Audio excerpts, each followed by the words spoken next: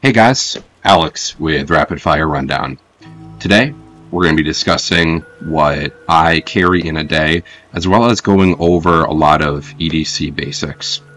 Um, as you may be aware, um, first of all, my channel hasn't had a video in a little bit. I'm currently waiting on a Staccato P Heritage to come in that I want to get a nice expanded review on for you guys. But, um, as many of us are probably aware, um, there was a shooter incident recently up in Maine.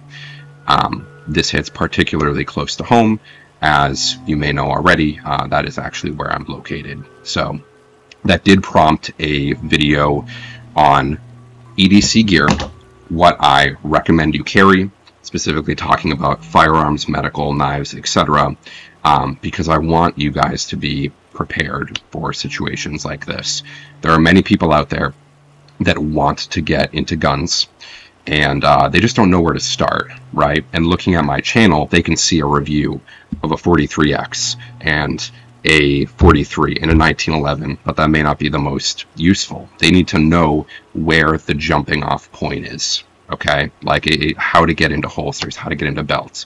So I want to make that in one concise video that you can watch and have a good understanding or a baseline intelligence of what you want to procure for situations like this.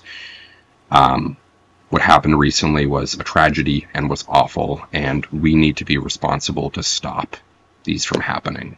And that's all I'm going to comment on. Okay, so we're going to be going from order of importance to order, well, I guess to the least important things that you can carry if you have the, the use case for it. So, starting off in the middle, we actually have firearms. Now, this is purely depending on on your viewpoint of firearms. I'm in the camp of yeah, you should definitely carry a firearm, especially considering the, the circumstances that are currently happening. Um, but once again, make up your own mind. Um, if you're watching this video, you've likely decided that a firearm is incredibly important to carry, right? So let's not get political here. Just understand that. Watch this video if you're interested in, in the topic at hand. Okay, so right here we have a Glock 43X. Once again, we're going to be speaking to people that are very new. Glock. Glock is a incredibly reliable system.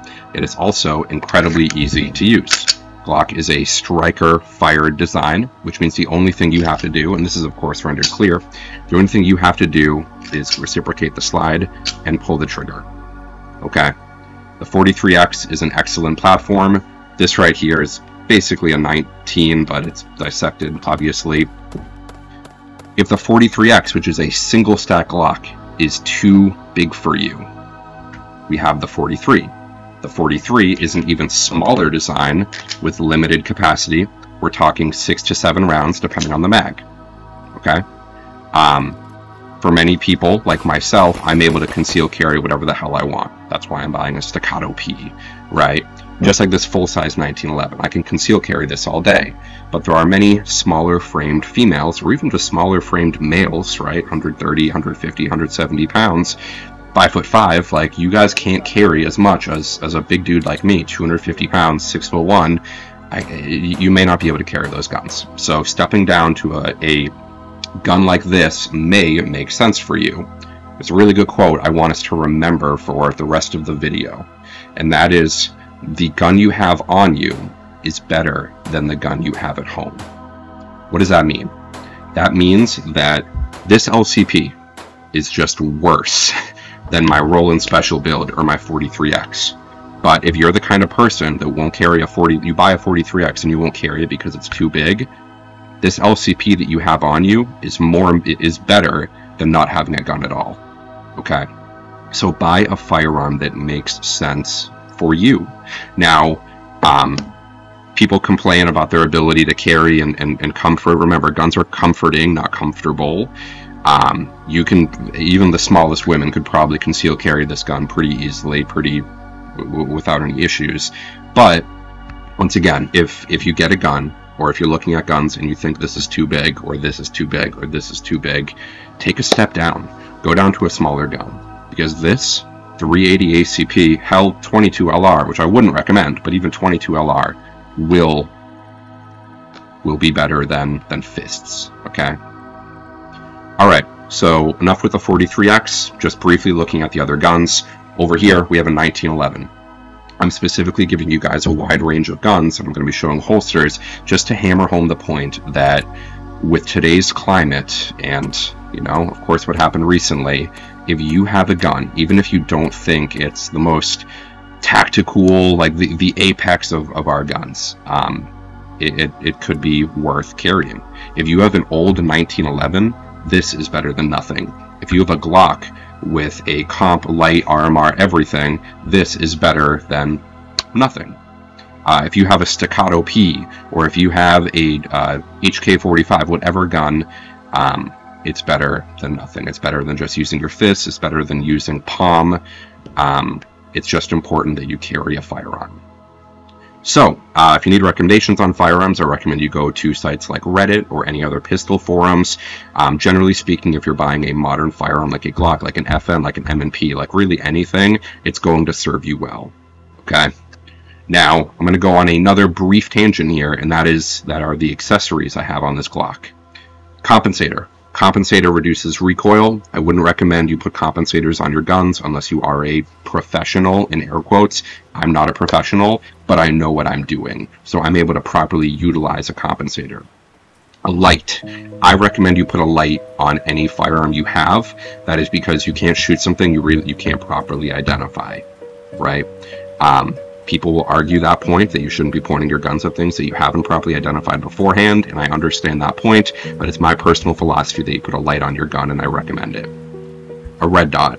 For a novice shooter, red dots require a lot of training to get behind, to get proficient with. Red dots are better than iron sights. I don't think anyone will argue that point. Red dots require a little bit of training, okay? So understand that if you just have this type setup right here, which is just irons and a light, um, this will serve you perfectly well. Irons, or I guess these are plastic sights, but irons are still a very effective tool. If you have the capability, moving to a red dot could be in your, your best interest. Now, I want to talk about holster setups, because like I mentioned, this is for people that don't understand the, the, the fundamentals of carrying a firearm. They want to know where to go. Um, and I'm going to give you a couple recommendations, and I have further reviews in my channel. The first one is Tenicor. This is a Tenicor um, Malice Soul. This is actually for my staccato that's coming in, but over here I have a Tenicor holster for my 43X. This holster is phenomenal. This uses D DCC clips. I'm not sure, but they're they're metal. Um, they hook into your belt. You can see the little tab right there. Um, and they are just, it's incredibly secure, it's incredibly slim, and it makes this gun disappear. Now, that's not to say that this is your only option, okay? The other options you have is over here, I have T-Rex Arms. T-Rex Arms is a phenomenal company, but as you can see, this holster is significantly bigger than this holster, all right? This is meant to hold a comped, essentially a Glock 34, but a Glock 19 with a compensator. And once again, I don't have a barrel on this, but this is meant to hold a giant pistol with, it actually has a tourniquet attachment. This tourniquet attachment is, of course, for if you have um, a, a, puncture in, in, some extremity, a leg and arm, um, it allows you to stop that bleed. So I recommend carrying a tourniquet, which I'll get into, but understand there are different types of holsters. I, for someone, if I were to recommend a holster for someone that is new to guns, I would more so recommend a very slimline holster like this okay? Just because this is something you may leave at home. remember, the gun you have on you is more important than the gun you have at home. Throw that off to the side. I have a 1911 Tenicor holster right here. This is another great option. I have, this is what is called a PHLster Floodlight. Okay, this is more of a all-purpose holster that can fit many different types of firearms, um, as long as it has this X300 attachment point. So I could put a P226 in here, I could put an HK, I could put a Glock, I can put almost anything in this holster. Floodlight, uh, it's pretty good. Um, it's not as slimline as the others, which is its big drawback, um, just because it's not purpose-built. But um, once again, it's a great option. And now I want to speak to clips. Um, these right here, these are just soft loop clips. They are extremely comfortable. However, um, while they are extremely stable actually too, My personal preference is to go with things like DCC clips, but back on T-Rex arms. T-Rex Arms is utilizing these plastic clips, and these plastic clips are, I would argue, inferior in every way to the Tenicor clips, but they still get the job done, guys. Find what works for you, but do understand that if you buy a holster like these, you know, you don't need to. Everyone's going to go through 15 different holsters before they find something that works for them, but these really do work quite well. Basically, any holster attachment clip works quite well, even those mono blocks that you see on cheaper holsters, they, they work fine. Okay. The last one is going to be a weird one, and that is going to be this PHLster Enigma right here. Okay, going to set this down. This actually goes around your waist. I recommend you go to the PHLster website and look up PHLster Enigma, and you can see how this entire system works. Um, but really quick, you essentially attach your holster to this. It looks like a little chastity belt. It looks kind of goofy, but it actually allows you to carry in sweatpants or shorts or whatever have you. Okay, and once again, the gun you have on you is better than the gun you leave at home.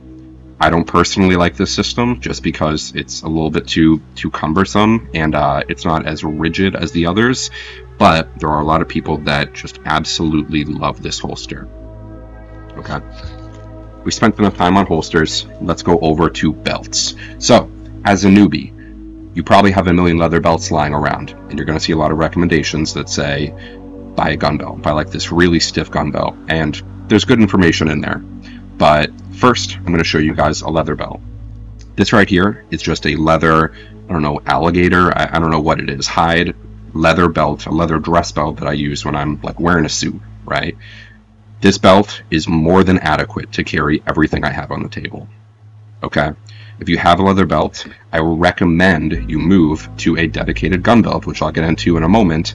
But a leather belt, you know, as long as it's even somewhat rigid, it really does work pretty fine. And if you have a tight budget, maybe saving on the belt and just using a belt you already have is is more opportunistic. Okay. Now, if you have the funds to move to a gun belt, I would definitely recommend it. Over here, this is my main belt. Um, it's in Flecktarn, which I think is really cool. It is made by Kore, and it has this ratcheting system where you press down on this tab, and it actually just you guys can hear that. Um, it's incredibly easy to adjust, and dear God, is it stiff. If I wanted to bend this with my hand, yeah, I, I can't even. It's making a crease in my hand. Um, look into Kore, look into T-Rex arms, look into Hank's leather, look into uh, 511. Like, there are so many good belts out there. Just buy one that's really stiff. Just understand that the belt, um, you know, you can save money by not getting it, but it is a nice quality of life upgrade. Okay, so if you're a newbie and you're watching this, I hope now you understand what firearms to look at, what holsters to look at, and then what belts to look at. So we're basically done with gun stuff now. All right. If you have more questions, comment down below. Go to Reddit, go to forums, go to go to Facebook. I don't care where you go. Just get the information you need. Um, I'm going to talk really briefly about ammo here, but then we're going to move on. Now, if you are a newbie, um, I would recommend you get some high quality defensive ammo.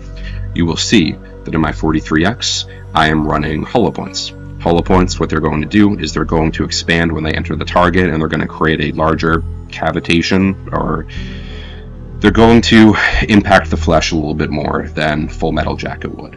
Okay, my one, my number one recommendation is going to be uh, Speer gold dots. Okay, um, Hornady makes great ammo. Sig even makes great ammo. Um, there are so many different great ammo manufacturers, but if you're asking my recommendation, Gold Dots. Gold Dots are so good, and many law enforcement agencies use them because they are so reliable and they expand so reliably. Right? Do understand for all you new shooters out there that self defense ammo is going to have a little bit more kick than FMJ, so it's important that you train with this ammo.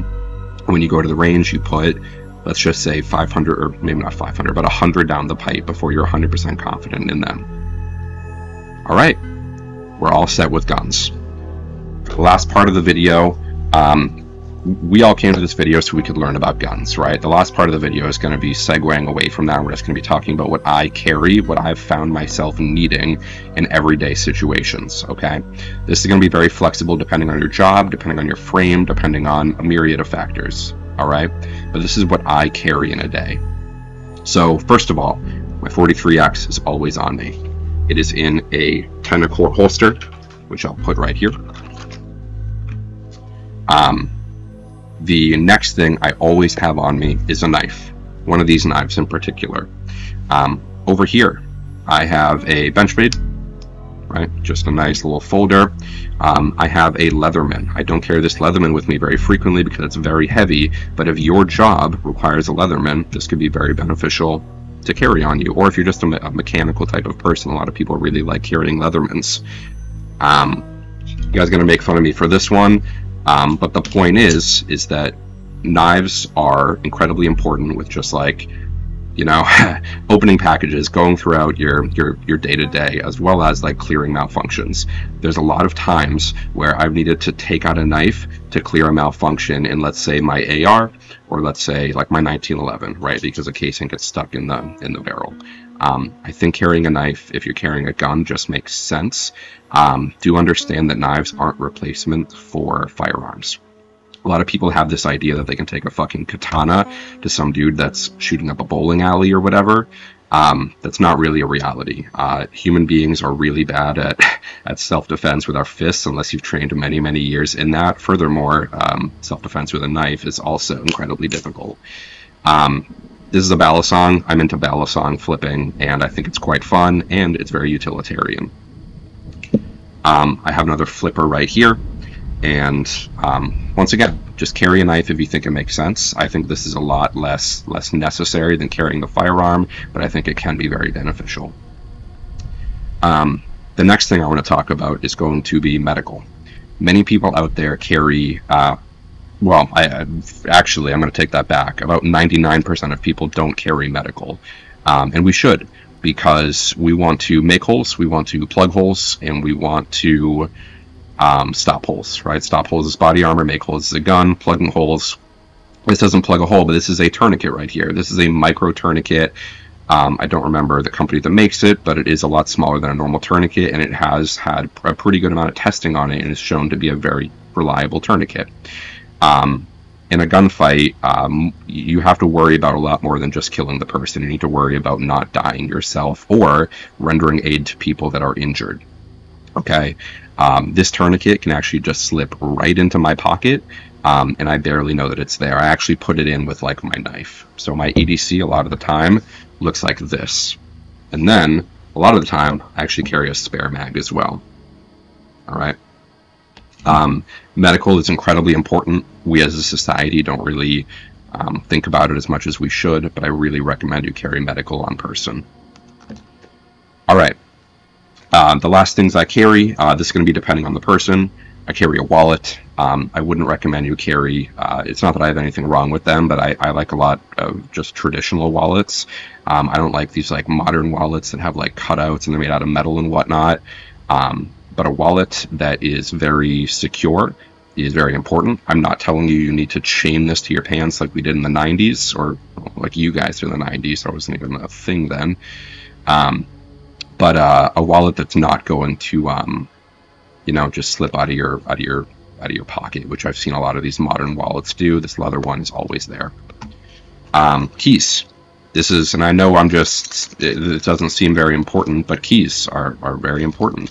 Um, we don't want to arm, um, we don't want to arm thieves. So our keys, I actually have this little loop right here, and this clips onto a belt loop. Okay. So no one is able to slip and grab my keys from my pocket like a pickpocketer.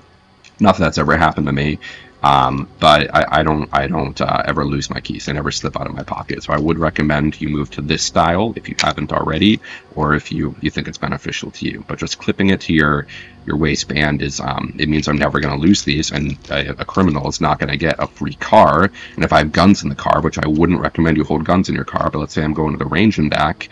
Um, a thief isn't going to arm themselves and five others. Okay, so just make sure your keys are secure. Um, lastly, I just want to talk about apparel. For all the beginners here, uh, you may be worried about printing, and there's this really weird um, idea set that I see on Reddit all the time that's like, oh, no one knows you're printing, right? Like, stop worrying about printing when people post, like, oh, I printing too bad? Um, Guys, that is a perfectly normal thing to worry about printing. We've all been there, and I'm there constantly. Okay? Um, printing telegraphs the fact that you have a gun on you. There is a reality that um, people don't pay attention which which kind of is our reality, but you don't want to print in case someone like me is paying attention. I know when people carry guns all the time because I, I know all the telltale signs. Um, so I'm just going to give a couple really quick recommendations. As a guy, if you wear t-shirts, get away from t-shirts. First of all, they look like shit. uh, sorry, guys. Um, but flannels and whatnot just look infinitely better. They look a little bit dressy. They're like one step up from like a t-shirt. They look a little bit dressier and they conceal incredibly well. Um, it's also skinny jeans and whatnot can be a little bit more difficult to conceal carry in because it can kind of bulge out.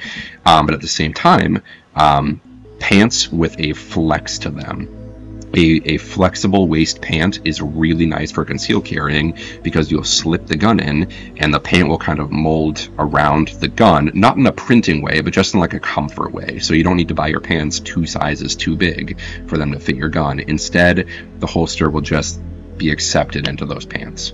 So, like I said, if you're a guy and you've never gotten into conceal carrying before, and that's why you're watching this video, if you want my utmost recommendation on conceal carrying, get a nice flannel or get nice flannels, buy some pants that have a little bit of a flexible inseam. All of my pants have that little bit of a flex inseam at this point, and you can make fun of me for wearing yoga pants essentially. I don't give a shit. It's comfortable and it works really well. Okay. Um, I carry a watch with me everywhere I go. I have a lot of different watches. Um, and this next topic, and this is the final topic for the video, and that is just to avoid looking as as tactical as you can, right?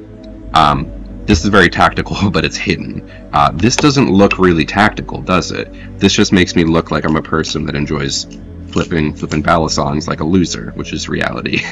um, but uh, it, it's really important that you don't wear nothing but but 511 and you wear these tactical boots and you wear these tactical looking pants because you're going to out yourself as someone that's carrying a gun now i'm also of the opinion that as an american citizen i can wear whatever the fuck i want but if you are concerned about this, which I mean, it's it's fine. Like you really, it's it's fine to be concerned about it. Um, you want to stay away from things that look overtly tactical. So I'm going to take this off my head right now. This is what I was just wearing. Haley Strategic multicam hat. This kind of outs me immediately as being a tactical person. Um, furthermore, uh, I'm not going to show my face here because my camera's not set up that way, but in case you guys don't know what I look like, I have a trimmed beard, um, and I'm bald and uh, I wear hats, right? And, and I wear flannels and I wear, I really like the color green. So I try not to wear a lot of multicam and whatnot, but even then, you could look at me and say, oh, that guy's a gun guy. Just because I, I, I have that demeanor to me, right? I go to the gym, my arms are big, my chest is big. People are going to look at me and say, not to not to toot my own horn, people are going to look at me though and say, oh, that guy that guy's definitely a gun guy because, you know, I can just like tell he looks like that kind of person. And that's just true, right? That's kind of an unavoidable thing for me. Um, when I really want to dress down, I can kind of avoid that, but a lot of the time I like to wear these hats. So one good way around that is um, this multicam hat right here. This multicam hat, just from a distance, looks jet black. No one knows this is even multicam black. And furthermore, I have plenty of other hats that are um, like paperboy hats and just blank hats and uh, like location hats, so like like colleges and whatnot that don't out me as a gun guy. I'm not wearing, and I own G-Shocks, but I'm not wearing a super multi-cam G-Shock that also outs me. I'm not wearing Salomon shoes that out me. Um, I'm wearing, I'm actually wearing Yeezys, so people think I'm a little loser in that regard too. So just make sure you're not outing yourself as a gun person because it, it could give away the fact that you're concealed carrying a firearm and the point of a firearm being concealed is that it is concealed right? The point of the, the word ccw is that it is concealed all right? The second people know you're a target um well i guess that that's in the word. You become the target okay?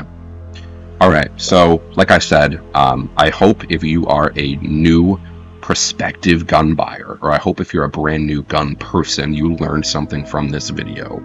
Um, I think I covered everything just to get you started in your gun journey. You're going to learn so many life lessons. You're going to find holsters that work. This may not work for you. You're going to find knives that work. This may be a little bit too big for you, but this is perfectly fine, right? It's tiny. Um, you're going to find guns that work for you. This one is tiny, this one's a little bit bigger, and then we go up and up and up. But what's important is you find what works for you and you take the tips I gave you here and you start carrying. Okay? If your state permits it and your law permits it and you have the correct credentials, right? CCW in some cases, in some states, I don't have to, but some states they require you to take courses.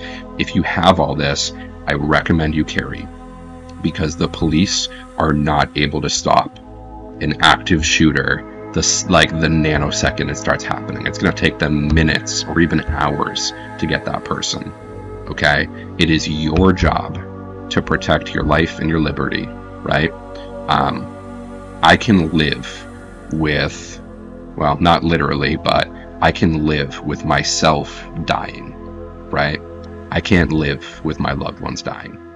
I can't live with my family members dying which is why we carry firearms to protect the people we love.